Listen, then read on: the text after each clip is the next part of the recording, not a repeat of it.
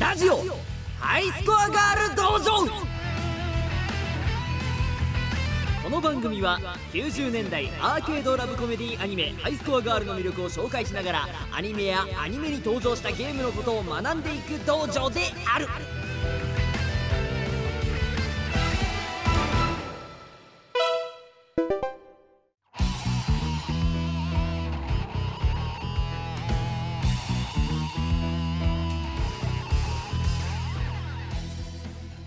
けましておめでとうございます。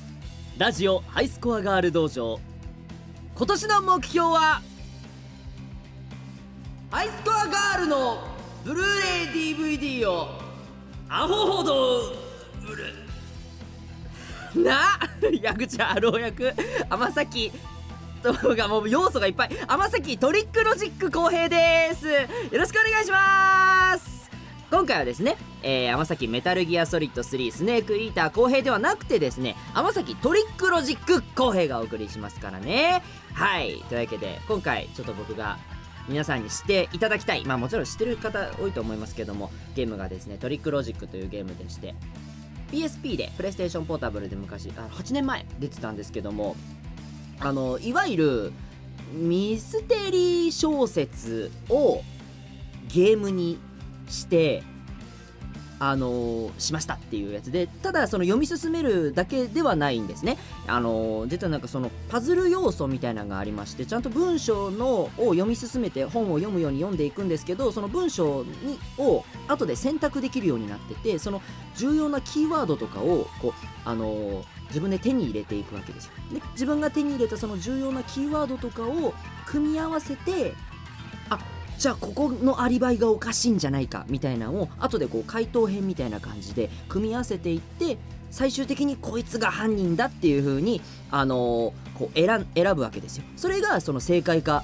あの不正解かっていうのがあのーこう出るっていう。なのでその選んだ選択肢によっては全然違う、あのー犯人をあの導き出してしまってクリアならずっていう風にあのーなってしまうようなゲームでしてあの本当あの、えっと、日本のあの結構有名な、あのミステリー小説家の方々が何人もあの、えっと、そのこのトリックロジックのためにこのお話ミステリー小説のお話を作ってくださってでそれのちょっとこうあのオムニバスじゃないですけどそれぞれの作品があってであの本筋となるストーリーあのそこに絡んでいくあのキャラクターたちメインのキャラクターたちがいてあのいろんな事件に巻き込まれながらその、えっと、事件を解決していくっていうゲームなんですけどもこれ、えっと、ソフトではあの1本出てましてあとそのダウンロード版であのちょっとあの続編というかあの続きのお話が出てきてるんですけどもあの僕が多分一番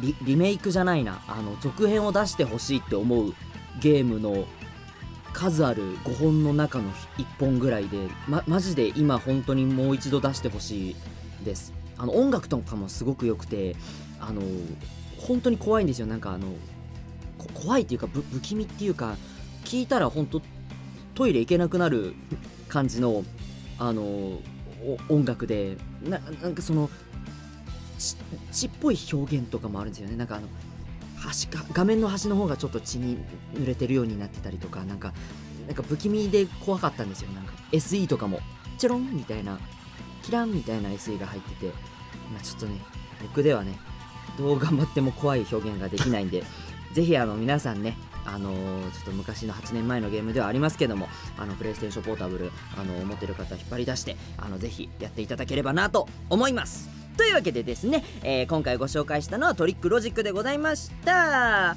はい。ではラジオの方に戻しますよ。前回、えー第0回ということでお送りしましたが今回からが本格的にスタートということでえっ、とラウンド13から15の配信、えー発売まで、えーあそういうことなんですね。今知りました。えっとラウンド13から15の配信までやるらしいですよこの番組。ああその後もやりやりたいですよね。ずっとやりゃいいじゃんって思いますけど。な永遠にいろんな人呼んでやっていきたいと思うんですけど。まあそそれも今日の出来次第かもしれません。はいというわけでえ前回のあの感想メールが早速届いてるそうなのでちょっと読みたいと思いますラジオネーム猫缶さんから頂きました。ありがとうございます。天崎さんこんばんは。こんばんは。えーハイスコアがあるウェブラジオが、えー開始すると聞いた時は驚きそしてすごく嬉しかったです。ありがとうございます。一人ラジオがしたいと言っていたあまちゃんの夢がこんなにも早く現実になったこともあり浮かれています。僕も浮かれています。えー小さい頃からゲームが大好きな私はハイスコアガールでいろんなあるあるやわかるを共感していたので、えー今後ラジオでリスナーさんやゲストさんや、えー、あまちゃんのトークが楽しみでございます。えー、あまちゃんいえ天崎メタルギアソリッド3スネークイーター浩平さん。これからの、えーラジオの展開期待しております。ということで猫缶さんありがとうございます。名前間違えてますね。今回は天崎トリックロジック浩平ですよ。何ですかねこれは。はい。ごめんなさいね。ありがとうございます。第第1回の感想いただきました。というわけでですね、えー第1回の時にはまだ発売がしてなかったんですけどもあのブルーレイ DVD ステージ1発売されましたけども、えー、猫川さんも買っていただけましたかね？あのそのねあの僕のその一人ラジオをしたいという夢が叶って浮かれている今の猫缶さんにねぜひあのその勢いで買っていただければなと思います。ブルーレイをお願いします。ありがとうございます。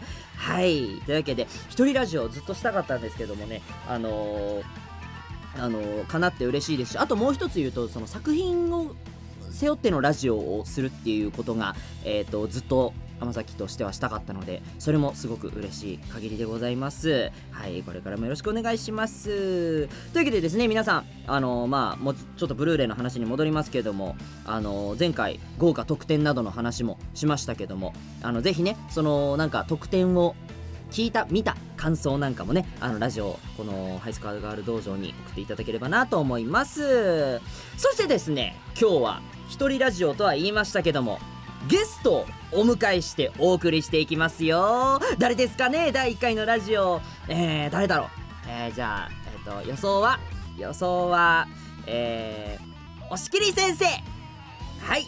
それではラジオハイスコアガール道場始め！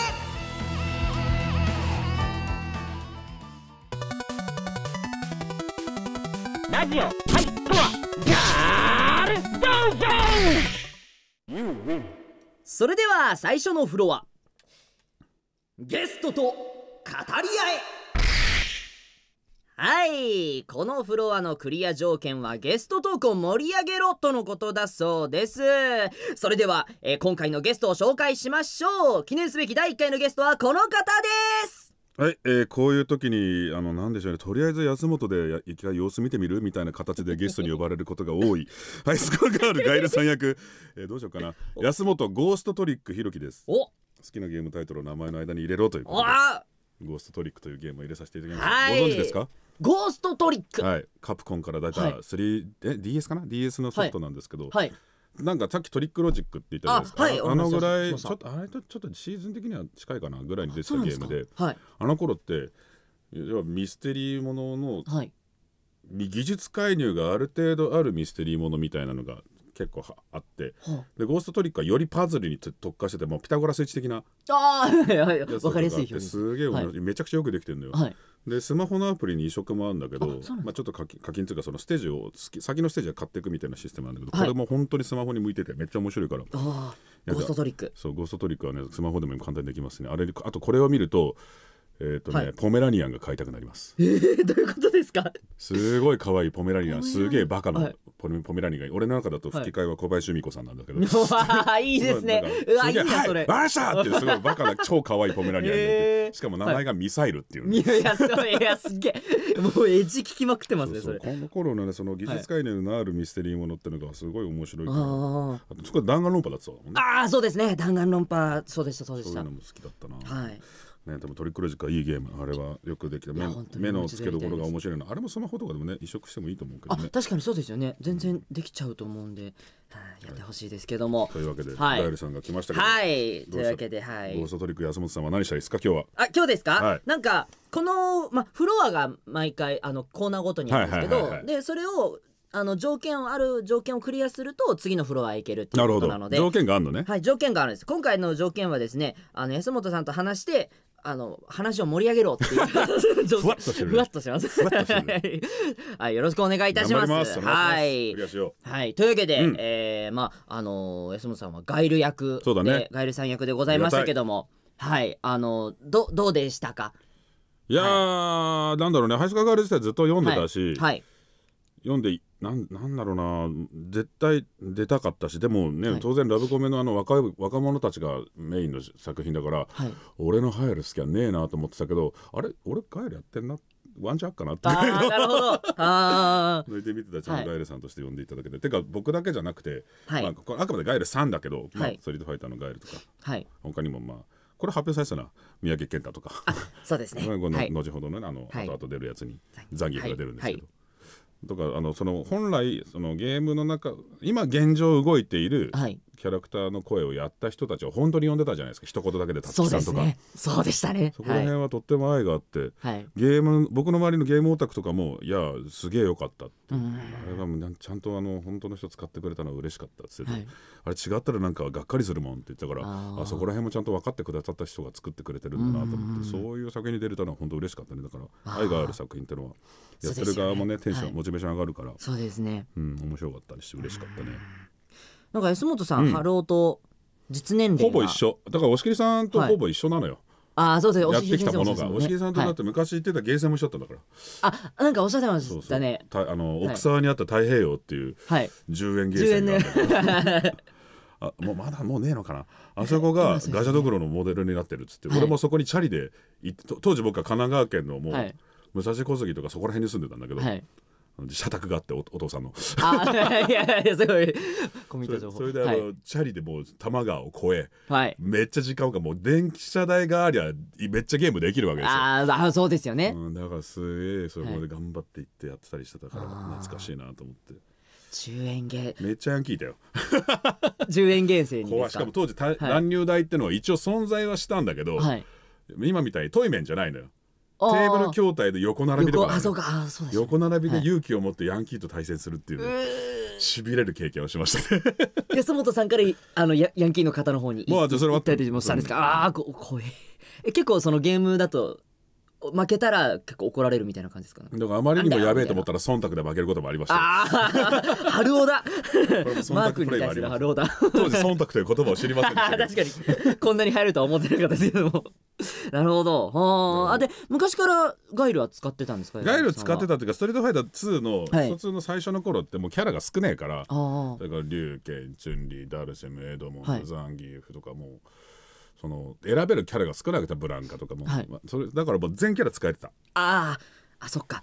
でもなんかゲームをしっかりやられてる方ってそれこそなんかキャラクター全部使えるようになろうとされますよね、うん、あとコマンドが今ほど複雑じゃないから要はいわゆる俗に言う波動拳コマンドと昇竜拳コマンドとヨガフレームコマンドとはい。あと逆あの逆ヨガってヨヨガフレームを逆やるの昔は逆ヨガって言ってたんだけど。逆用があの大イチョウ投げとかねエドモンドのあの辺のコマンドのへー逆ヨガとか、そこら辺の一定のコマンド、はい。あと覇王昇降拳コマンド。昇降剣コマンド。前入れて後ろ入れてぐるってますやつね。あーあーあーなるほど。それがあればある程度のキャラクターの技は使えたんだけど今は結構複雑ですか複雑になってきたね。何からだろうな。あれかな画廊伝説2あたりからかな。超必殺、あわ画廊伝説かな。やっぱが超必殺技ってのが出てきてから、はい謎コマンドが多くなってきて。ああ謎コマンド、あとバニシングバニシングフラットコマンドとかなんか短い中でも変、あの新しいコマンドとか出てそこら辺から大変になってくる昔はコマンドが少なかったかな。なるほど全全員おのずと全キャラ使えた。はい。それみんなそうだと思う。安本さんはい今だと全キャラじゃないって感じですか？ね今でもある程度動かせるけどあちゃんとできるのはでも昔から慣れ親しんだコマンドそういう意味だとガエルってありがたいんだよ。ロートルプレイにありがたいんだよ。はい。技増えねえから。ーシンプル。そうですね。コマンド投げなんすかそれみたいな人ないから。ガイルさん悩んでましたけどねずっと。なんか俺だけどさ新技ねえんだろうってのは本当にそうだから。あ新技っつったってあれじゃん、はい。ソニックブームが強くなったのとサマーソルトが強くなっただけじゃん 何もないじゃん、あう。んうんなんか初期が強すぎたみたいなことハルオが言ってましたよね。まあ待ちガイルっていう言葉が出てきたぐらいで、はい。それこそ今スマッシュブラザーズがあはい。新しいの出たじゃないですか、はい。あれのアシストフィギュアではい。ガイルがいるわけですよ、あはいあれのスマブラのガイルも見事に待ちでしてくる待ちガイルソニックブームずーっとって飛んだらサマ,、はい。サマソで落とされるってふざけんなこいつって。自分の声がするんだけど。あそうですよね。みんなすまんと思いながら。イライラしな間いで。違えるでごめんと思って。あであのーちょっとこうあのハイスコアガールの話に、はい。あの行ったりしますとあの安本さんは今はうん。アキラ派なんですか？小春派なんですか？これが難しくて最初はもうダントツアキラ派だったんですよ、はい。でもなんか小春の良さにも当然気づいてきてちょっとぐらつくところはあったんね。あったんだけど自分の一番最初の思いってどうだったかと。自分が童貞だった時はどうだったかと。はい。どんな人がそばに一番欲しかったもちろんね小春のように、あのあのぐぐりぐいぐいぐいぐい来てくれるのも、はい。今となっちゃありがたいんだけどあ当時のあの、はい。い、やちょっと本当そういうのいいし本当みたいな格好つけてる俺からすると 何だったのかなんか、結局追いかけるのと追われるのどっちがいいんだみたいなあ話になるんですけど、ね。はい。なんか追ってる方が当時の俺は楽しかったんじゃないかと思うから若い頃の俺は大堂さんだよね多分ね。年取ってくると何でもやってくれるありがたさとかもあるかもしれないから。年取ってくると、はいまああ小原さんの小原の良さも分かるかなっていうのはあるね。んなるほど。だから今どうだろうな。また50-50に戻ってっかな。あ本当ですか。じゃあうん。結構割とどっちかまだわかんない感じなんです。ねそうここからだけなね今度出るあのね延長戦の方をちゃんと見ましてそこで判断したい。なるほどなるほほど。ありがとうございます。延長戦の話していただいてありがとうございます。ね。はい。というわけでですね、はい。ちょっと安本さんと一緒にハイスコアガールとそしてあのゲームの話をしていきましたけども、うん。えーこのフロアクリアできましたかな？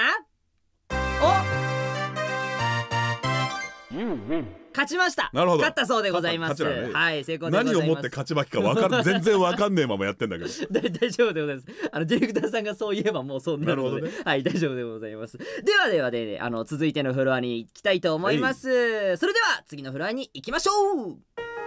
ラジオハイスコアガール道場。さて続いてのフロアはメールコーナー。このフロアのクリア条件は、うんお便りコーナーを楽しくお送りすること。ただ単にメール読むだけじゃねえか メール読んでキャッキャッとすりゃいいだけじゃねえかクリア条件がもう何クリアとは何だとそねその概念は何だこれクソゲーですね。これうん大丈夫。本当だよ本当だよこれ大丈夫か。はい、誰でもクリアできちゃうそうですね。じゃあ、あの、お便りをちょっと楽しく読みたいと思います。えーまずは、春尾へのお便り。ラジオネーム、えーあなたのコンボおすすめします。えー、ユアコンボ褒めたげるさんからいただきました。はい、ありがとうございます。あ春尾なたのコンボ。ボお褒めしましたねあ、あ、あなたのコンボお褒めします。うんユアコンボ褒めたげるさんからいただきました ありがとうございます春尾くんへの質問です春尾くんは RPG をやるときに主人公の名前を自分の名前にする派ですか？僕はハムカツとかえ豚骨とか食べ物の名前をつけていますということではい、まあこれは難しい問題なんですよ。そうですね。このデータが人には見られるか見られないかによっても変わってくるんです。いなるほど。人に見られないだったら結構自分の名前でやる人も多いと思いますよ、はい。僕は結構自分の名前ですね。そうなんですね、はい、これはなぜかというとはい。昔自分の名前でやったことによって、えいもうえらい感動大感動したロールプレイングゲームがあるんですよ、はい。マザー2ってやったことありますか？あやったことないですけどマザーは実名でやった方がいいい、んです、もうネタバレになってしまうんですけど、はい。全部実名でやった方がいいです。あそうなんですも。うまあいろんなご家庭の事情とかあるかもしれないけど、あのマザーシリーズはもう自分の名前も当然だし、はい。両親の名前も当然だしあーなるほど。何もかも正直に書いた方がもう、はい。激泣きします。ああなるほど。特に2のなんかね、なんかひなんかひこれもすげえネタバレになっちゃうんだから、はい。いいか。もうずいぶん前のゲームだし、はい。なんか自分なんかなんつうのひひなんかねなんなんつうんだ記念碑みたいなやつに名前を入れるところがあってローマ字で、そこにちゃんと自分のガチ名前を入れておくと、はい。あのえらく感動します。ああなるほど。後々それが。ここから先はやめますけどああえー、あーちょっと。えらく鳥肌が立ちましたあそうなんだ。こうファミコンでこんなことができるんだっていうので。んで年取ってから、はい。あれがあのバーチャルコンソールかなかなんかで出てはい。やり直したりとか、あのアドゲームボーイアドバンスか。あれで、はマザー12が一緒になってるのがあってはいあとマザー3も出たのかな？はい。それも全部やり直したけどねやっぱ超いいゲーム、そうなんですね、うん。あ絶対やりたいと思います。あれをやあはい。そこから自分の名前でやろうってなった、あー。それそれまでは割と違ったりしたんですか？うんなんかあのドラクエとかって貸し借り問題が当時のねファミコンソフトは貸し借り問題があるんですよ。で友達にちょっとやらせてよっつって、まあ、セーブデータが入ったやつはい。貸すじゃないですか、はい。そこになんかじ「ひろき」って入ってるの見られるとあこいつ自分の名前やってんだとか 思われるのが恥ずいみたいな。るほなどなるほど。当時は今はあんまりそういう貸し借りとかもないから。そうですそうですね。確かに、うん、でもそれ以降もういや俺はもう自分で感動するために感情移入するためにはい。自分の名前でやろうで結構自分の名前でやってる。なるほどなるほど。あまちゃんは僕はですねあのえっとあのヒロインの子が、うん。あのヒロインはむずいんだよ。はい、こうなんかどう呼ぶかで、うんうん。あの名前を入力してくださいでいはい。天崎浩平って入れた時に、あの天崎浩平くん？はいはいはい。かから天崎浩平ちゃんあ天崎浩平ためになんかそのフルネームでずっと呼ばれ続けるのが嫌なんで、はいはいはい。その浩平にしたりとかただ僕浩平っていうこなんか名前がそんなにこうあの世界観に合わない時があってあーまあわ和名すぎてはいはいなんかなんでこうってしたりしてました。ああなるほど。ちょっとこうあなんかこう思わせるというか。はい。うんにカタカナでこうとかにしてるのとあとはあの、えっと、東京エンカウントっていう番組で、はいはいはい。杉田と中村の。杉田さんと中村さんが あのおっしゃってたのがなんかあのおまるっていう名前に杉田さんがしてたっていう。最悪だあいつ。その話を聞いた時にそうなんかあのおおまるで時を超えるかけるんだみたいな話をされてた時になんかそれですごい僕感銘を受けて感銘を受けた？あ先生はいい名前だなって思って。なんかその名前で遊ぶっていうことを今までしたことがなくてそのなんか普通に自分の名前でつけちゃってたんでなんかある意味なんか遊んそれをする2週目とかだったらそれをすることで楽しくおまるはメガンテを唱えたっ大変おまる大爆発 そうですね確かに。糞尿をまき散らすことでね でもなんかそれでおじ一時期おまるってあの僕もつけてた時はなんでパクるんだ？ありました。あんまりそれで、ひヒロインは確かにむずいんだよヒロインね問題ありますよね。よりはずさが増すんだよヒロインに名前つけられるやつとかはもういやむずい。あありますよね。はずい、はい、だから大体でも僕年食ってからは、長いことはい。その22以降かな、はい、はずーっとあの18年間飼ってた犬がいたからあそれ以降はヒロインの名前は全部銀行にしてた、ああなるほど。いいいですね。そうそうそう。で銀行って名前にしてたんだけど、なんだっけなペルソナはい。2か3か忘れたな罪,、罪罰かなんかでね銀行ってキャラがいるんだよ。あペペルソナじゃねえやじゃねえやあれなんだっけ？あソウルハッカーズかな？でとりとりあえずそっち系の、はい。女神転生とかそっち系のゲームはい。で銀行ってキャラがいて、あああ銀行いたみたいになっちゃって。なるほどなるほど。あたふたした記憶がある。ああ僕ヒロインの名前飼ってた犬にするとなるとロッキーになります。オスだっでした。はいという。わけで、ハローだったらでもちなみにどうどうつけるかないとか想像できます？あいつはちょちょちょなんかなんつうんだろう。なんか逃げるでしょ。ああそういう確かに。のそういうのじゃなくてなんかおちゃらけるでしょ。あなんかお餅とかそんな名前するでしょ。あ可愛い。可愛いですね。確かに。RPG をやってる姿ってあんまりこうハローがやってる姿想像つかないですけど RP やってる RPG スクールとか、ねま話とかはああのそれぞれやってたりとかしますけども。あるはい、美術作で一生懸命ゲーム作やってましたりね。とかはい。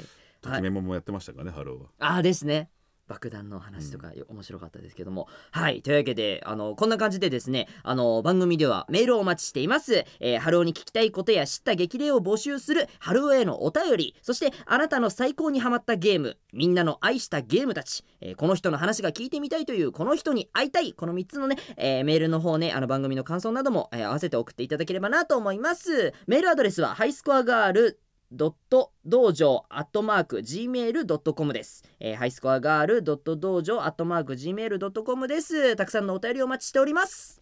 Gmail なんだ。はい。gmail です。 Gmail なんだ。すごいな。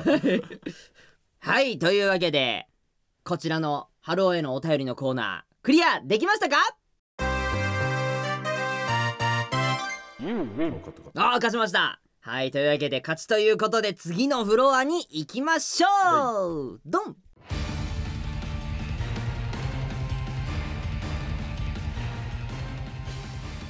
はい。お知らせのコーナーです。大事。はい大事でございます。このためにこの番組やってるようなもんだ？そうなんでございます、うん。皆さん買ってください。そうだ原作コミックスハイスコアガールコンティニュー1から5巻ハイスコアガール6から9巻絶賛発売中でございます。そして最終10巻は3月25日発売予定です。アニメのブルーレイ DVD のステージ1が12月19日に発売されました。そしてラウンド5からラウンド8が入ったステージ2は、えー来年1月30日発売予定です。ガイルさんが結構仕事をした回が入ってると思います。土井の「は」T シャツもついてきます「は」ってあのでっかく書いてあります、はい。ゲーセンで遊ぼう完全版も入ってますよ、えーラウンド1から12はレッドフリックスにて配信中。まだ入ってない人はぜひ1ヶ月無料もついてきますよ。はい次は新情報。新たにコラボ情報です。1月16日水曜日から池袋ストーリアにてハイスコアガールのコラボカフェの開催が決定。いろんなコラボメニューありますのでぜひお越しくださだっいてあれでしょあのタイトンステーションの上だよねあーそっか場所的にはそうなるんですね。ゲームしてからみんなでストーリア行きましょう。お願いします、はい。このストーリアのビルの外壁にある大きなビジョンでアニメ本編の上映も予定しています。へえ。すげえ。えー1月22日火曜日の21時頃より毎週火曜日に2話ずつ上映。へげえ。え寒いからみんなけ、ね、風邪ひかないでね。確かに。外でアニメの本編を見れることなんてほほとんどないっていうかほ聞いたことないですよそうですね。ほとんどないので見たことある方もぜひは初めて見る方もあの遊びに来てください。はい。そして EVO Japan 2019とコラボも決定しています、えーコラボイラストも公開されましたね、えーロゴの上に載っているあの ハローとアキラと小春載ってましたけども、えーすごいですね、えどんなコラボを行うかは EVO Japan やアニメハイスコアガールの公式サイトにて情報公開していきますのでお楽来いしたみに来たい呼べ呼べあお願いしますみんな呼んでくださいそうですねお待ちかねのラウンド13から15ははい。3月にネットフリックスにて3月20日ですね。3月20日日にち決まりました。3月20日配信されます。はい。そしてラウンド13から15を収録したブルーレイ DVD エクストラステージはこちらも同じ。はい。3月20日に発売決定。すごいですね。もう DVD 出るのに同じ日に配信もしちゃうっていう。すごいですね。同時なんですね。強気かっこいい。確かに。それだけ得点がすごいということでございますね、原作押切蓮介先生書き下ろしの8ページ漫画家ブックレットに掲載されております。すごい。えーほ他にもねもぐとっても盛りだくさんでございますので、ねぜひご予約の方お願いいたします。こちらあの新キャラもいますしはい。ゲストがえぐいです。結こ構んなところにこんな人みたいなあの大爆笑するゲストがいます、はい。つえつえゲストがいます、ね、しかもゲストもみんな大喜びしてやってますそうでしたね収録も楽しかったです。ぜひぜひそちらもチェックしてくはださい、い。お願いします。詳しくは公式サイトをご覧くださいね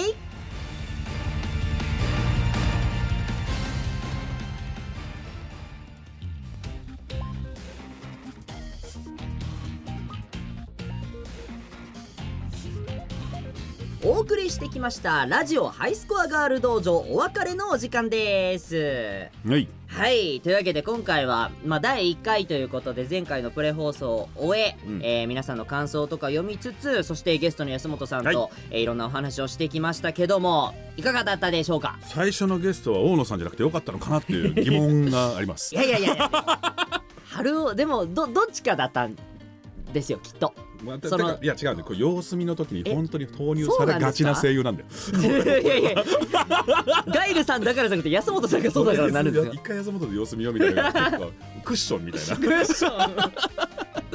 でもなんかこう安心感があるのは確かにあの想像に難くない感じはしますけども。あとゲームの話させたかったのかもしれない。とてそれは嬉しいことですすね。確かに確かに。ありがとうございます。ありがとうこちらこそありがとうございます。なんかあの安本さんから告知などあればといやいやもう思ひたすらハイスカーガールをねあの周りの人に入らせてください。あのねあのアニメはね3月かな、はにあのあそうですね。はい。エクストラステージありますけれども、はい。それまでの間もですねもうみあのネットフリックスとかでもいいしあの、はい。12月に出たあの DVD とかブルーレイのボックスでもいいボックスか DVD ブルーレイでもいいですし、はい。こちらの方も見ていただければだと思いますし我慢できない人は原作でもいいですしあのとにかくハイスカーガールを忘れないでずっと楽しんでください。ありがとうございます。はいというわけでラジオハイスコアガール道場もですね、えーこれからも不定期で更新していきますので公式サイトやツイッターをチェックしてください。お願いします。はいというわけでですね、えー安本さん今回、あのククッションで来ていただいた、形になったんですけどもあのクッショニングをクッショニングをクッショニングをしていこうただいたいう言い方であってるのか分かりませんが。はい、わけなんでございますけども、はい。なんかあの僕的にはまだもうちょっと安本さんとお話ししたい感が、うん大丈夫だよ。あまだねスケジュールは切られてる、うんあ本当ですか？大丈夫ですか、まだ。もうもう一本分ぐらいですあ本当もう具体的な数字を。ありがとうございます。はい。というわけでですねあの次回は安本さんクッショニングしていただけるのかどうかも楽しみに待っていてください。というわけで今回のお相手は矢口春夫役天崎トリックロジック浩平とあそっか。ガエルさん役安本、えー、とゴーストトリックひろきでした。またねー